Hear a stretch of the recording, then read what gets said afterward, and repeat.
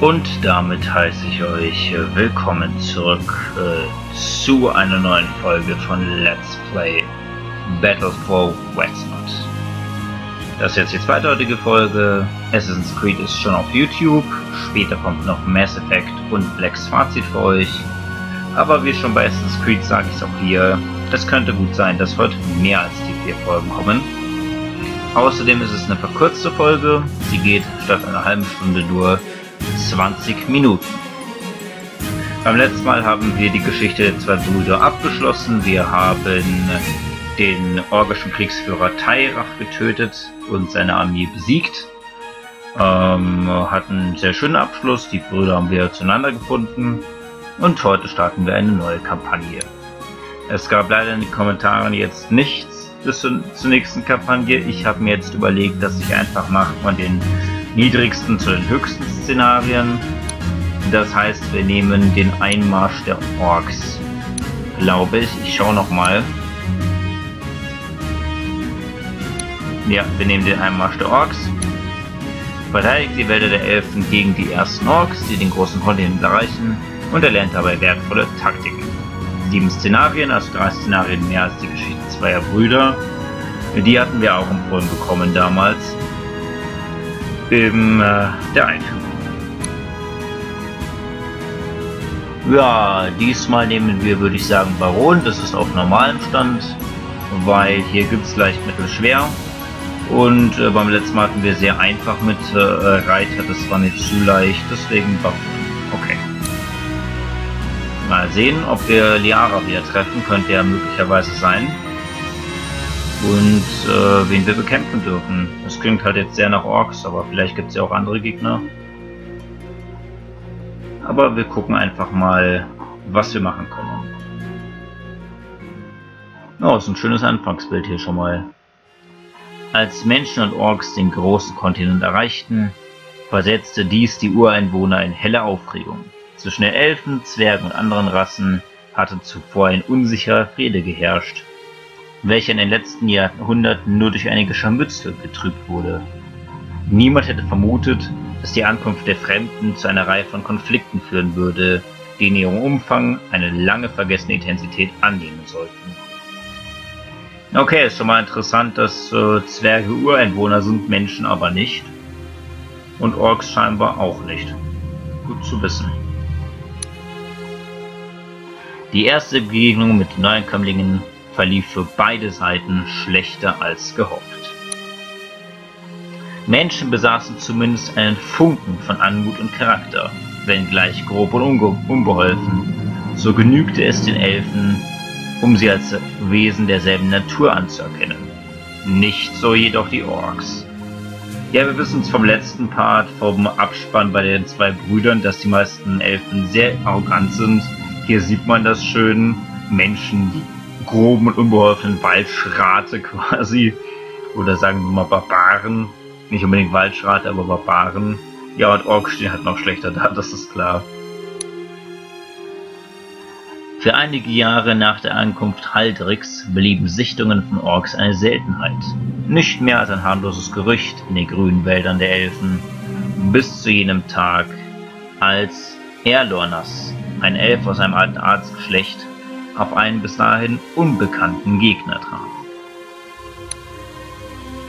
Die Orks wurden zuerst in den nördlichen Sümpfen im großen Wald von Westmeer gesichtet. Okay, da werden wir bestimmt gleich hinreisen. Verteidigt den Wald. Erste Mission. Die ist hier in der Nähe von, wer hätte gedacht, einem Wald. Das war ja klar. Okay. Wir spielen wahrscheinlich den nächsten Kundschafter, der Lomafell. Eine Gruppe von Kreaturen hat im Norden ein Lager aufgeschlagen und verwüstet dort den Waldmannfürst. Unsere Speer glauben, dass es sich um Orks handelt. Ah, und hier ist der Erlornas. Ja, das ist der, den wir gesehen haben. Ein Elfenbaron. Mit Schwert und Feenfeuer als Magie. Interessant. Das ist der, den wir äh, gesehen haben, auch im Kampagnenbild. Orks, das erscheint mir wenig glaubhaft. Diejenigen, die den Menschen hierher gefolgt sind, wurden von Haldrik, ihrem König, erschlagen. Seither bevölkern Orks nur noch die Schauergeschichten, die man Kindern erzählt. Hm, ein sehr skeptischer Elf, finde ich. Interessant. So schien es zumindest, mein Herr. Doch gerade in diesem Moment befindet sich eine Bande von ihnen im Norden und rückt dem Wald mit Äxten zu Leibe. Das gesunde Holz dient ihnen anscheinend nur als Brennstoff. Sie machen sich nicht mal die Mühe, ihren Unrat zu vergraben. Selbst hier rieche ich den fauligen Gestank. Ja, dass sie sich darüber aufregen, das finde ich sogar nachvollziehbar. Ich meine, sie sind sehr naturverbunden, das sind die Orks natürlich nicht. So bewahrheiten sich die Geschichten also doch. Ihrem Treiben muss Einhalt geboten werden. Ich werde die Truppen selbst in die Schlacht führen, um ihrer Plage Herr zu werden. Du aber, Lorfamel, Lofamel, musst den Rat aufsuchen und berichten, was wir herausgefunden haben. Verstärkungen wären zudem eine gute Idee, der wir nicht wissen, wie groß die Zahl dieser Plagegeister ist.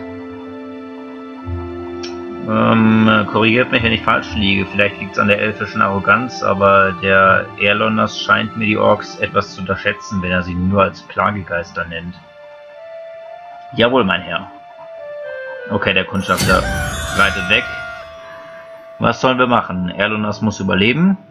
Und wir haben 24 Züge übrig und wir sollen Uruga besiegen.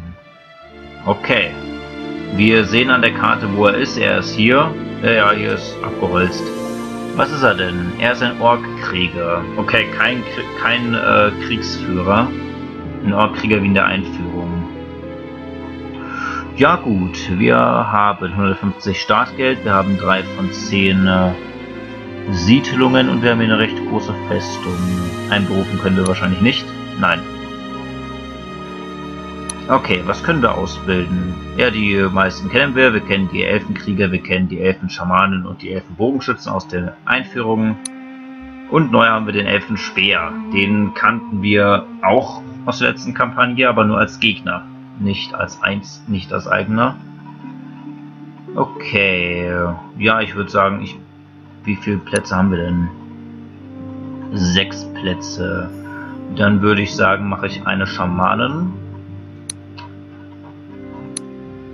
Und äh, zwei Bogenschützen. Die sind ja die teuersten, aber wir wissen, gerade elfische Bogenschützen sind enorm stark. Ne, der Elfenspeer ist teurer. Und ähm, einen Reiter Also ein Speer kann vielleicht nützlich sein und dann vielleicht noch zwei Krieger. Genau. So, wie weit kannst du denn gehen? Könntest du ein Dorf einnehmen? Nein. Die drei, die du einnehmen könntest, haben wir. Okay, dann werden wir jetzt erstmal speichern unter Test. Ich äh, weiß jetzt nicht, ob wir es fertig schaffen. Aber wir müssen mal gucken. Wir haben halt eine verkürzte Folge nur. Mal gucken, was der Ork macht. Der ist im Moment noch alleine. Der wird halt wahrscheinlich auch gleich ausbilden. Können wir irgendwas bewegen? Ne, nur den Aerolas. Finde ich interessant, dass er im Fernkampf ein Feenfeuer besitzt. Aber wir kämpfen mit ihm ja eh nur, wenn es nicht anders geht, weil er darf nicht sterben. Okay, ja, der Ork bildet fleißig aus. Seht sie euch an. Groß, langsam, ungeschickt und kaum einer trägt einen Bogen in der Hand.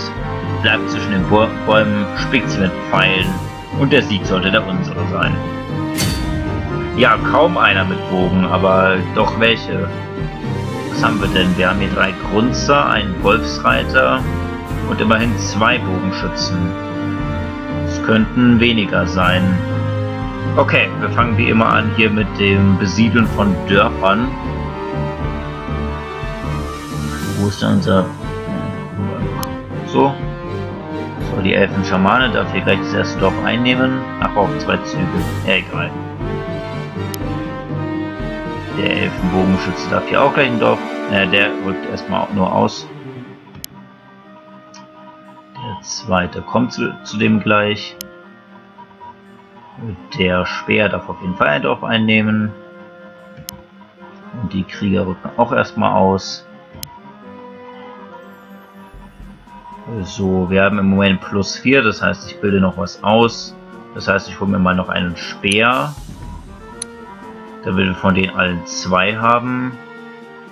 Und dann, was holen wir uns noch? Ja, die Schamanen, ich weiß halt nicht. Das Problem ist, ich meine, die ist mit dem Heilen sehr stark, das wissen wir, aber die sind halt sehr kampfschwach. Ich nehme erstmal noch Krieger und Bogenschütze, glaube ich. Dann haben wir zwei Reiter, eine Elfenschamanin und drei Krieger, drei Bogenschützen. Das ist, glaube ich, keine schlechte Idee. So, du bleibst. Okay, gucken wir, was der Ork macht. Er wird wahrscheinlich gleich seine Krieger aussenden. Genau, Wolfsrad nimmt ein Dorf ein. Und die anderen werden alle ausgeschickt. Und er bildet auch neu aus. Okay, wir haben jetzt hier das zweite Dorf. Orks haben bisher ein Dorf, aber der Grundsatz geht hier auf ein zweites zu. Okay, schauen wir mal. Erreichen wir das Dorf mit irgendwem? Mit dem würden wir auf jeden Fall das Dorf erreichen. Das ist doch schon mal anfangen. Du kommst hier schon mal näher. Ich weiß, damit begibt er sich in Gefahr. Der Speer darf das zweite Dorf hier holen. Und ihr beide rückt auch vor gleich den Orks tapfer entgegengetreten.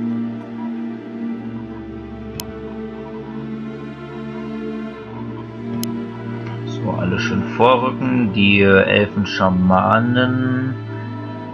Wir haben jetzt sieben von zehn Dörfern. Eins hat der Ork und die anderen beiden sind noch neutral, aber auf eins geht er zu.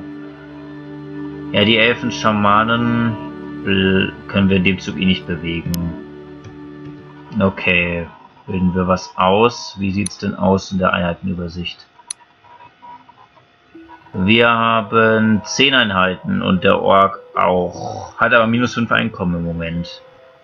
Ja, ich bleibe erstmal so. Ich bilde erstmal nichts aus. Wir haben gerade Tag. Wir sollten gerade Vorteile haben. Schauen wir mal, was der Ork macht erstmal. Der Ork zieht gleich in die Schlacht.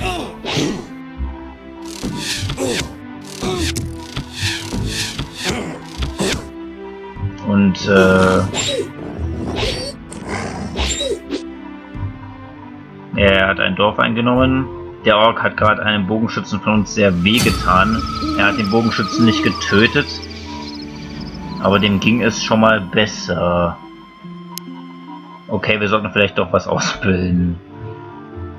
So, die Schamane kommt mal hier hin. Damit die alles, aber die geht hier hin, damit die alles heilen kann. Dann der Elfenkrieger, der stirbt halt wahrscheinlich. Das ist ein bisschen blöd. Okay, du Elfenkrieger darfst den Wolfsreiter angreifen im Fernkampf, da er sich nicht wehren kann. Mist. Speer, du darfst den Grunze angreifen, auch im Bogen. Zumindest ein Treffer. Du darfst den Grunze hoffentlich töten. Auch ein Treffer. Äh, du gehst ins Dorf zurück. Ne, hätte ich die Schamane nicht vorschicken sollen, ne? Scheiße. Du Speer darfst... Ja, greifen wir den Wolfsreiter an. Ja, immerhin zwei Treffer. Und du tötest eventuell den Wolfsreiter, das wäre nicht schlecht. Ja, sehr schön. Good job. So, Elfenkrieger, du kommst... Nee, du greifst den Orkschützen an. Und zwar mit Schwert. Immerhin ein Schaden und du greifst hier noch an.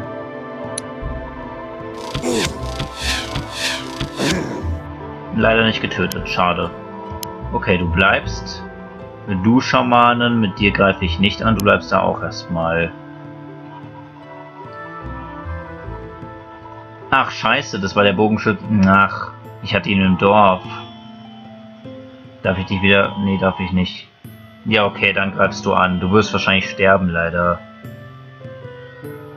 In dem Fall im Fernkampf. Nehmen die sich nicht wirklich was. Scheiße. Ja, er war sogar im Dorf. Er ist leider gestorben. Okay, der Ork hat also einen verloren und wir haben einen verloren, ne? Ja, wir haben beide neun Einheiten. Da wir jetzt gerade irgendwie schlecht stehen, bilde ich wieder aus. Und zwar ein Elfenkrieger. Gut, wir haben noch fünf Minuten. Eine Runde machen wir noch, würde ich sagen.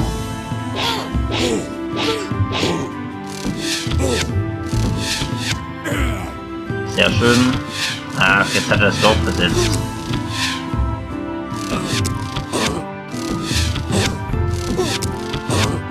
Ja, man merkt schon, dass wir jetzt auf normal spielen.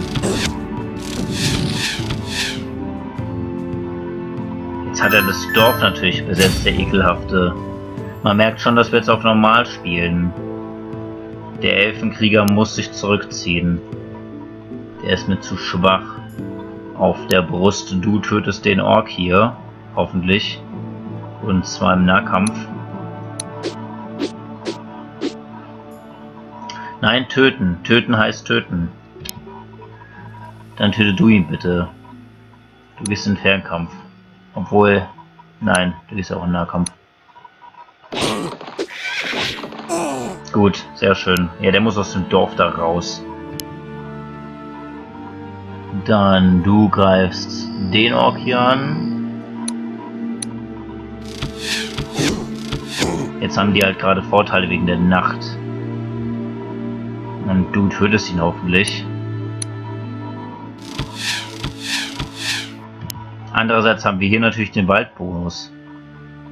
Und du killst den hier, der hat nur noch vier. Sehr schön, der ist tot. Ja, im Moment, wir kämpfen gar nicht so schlecht. Du bleibst im Dorf zum Heilen. Und du, Bogenschützen, greifst hier noch an. Sehr schön. Das war eine sehr gute Runde. Elfenkrieger, du äh, gehst raus. Du bleibst. Die Elfen-Schamanen bleibt auch erstmal. Oder besetzen wir das Dorf? Weißt du was, mit der besetze ich das Dorf. Damit es die Orks nicht gleich kriegen. Aber da bleibt sie dann. Angreifen tue ich sie mit ihr nicht. Haben wir Geld? Nein, haben wir im Moment nicht. Okay, wir haben noch drei Minuten. Ich mache jetzt noch eine Runde. Noch geht's ja recht schnell.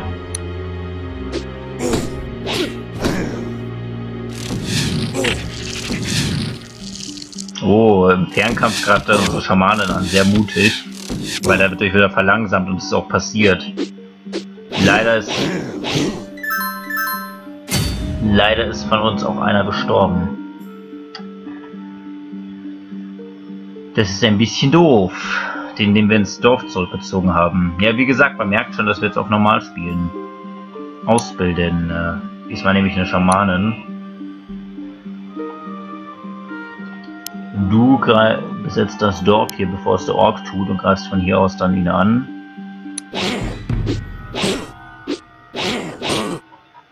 Da zumindest ein guter Angriff. Gut, du greifst den äh, hier an.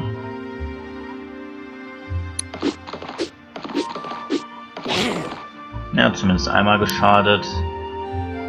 Elfenkrieger, du greifst ihn auch an.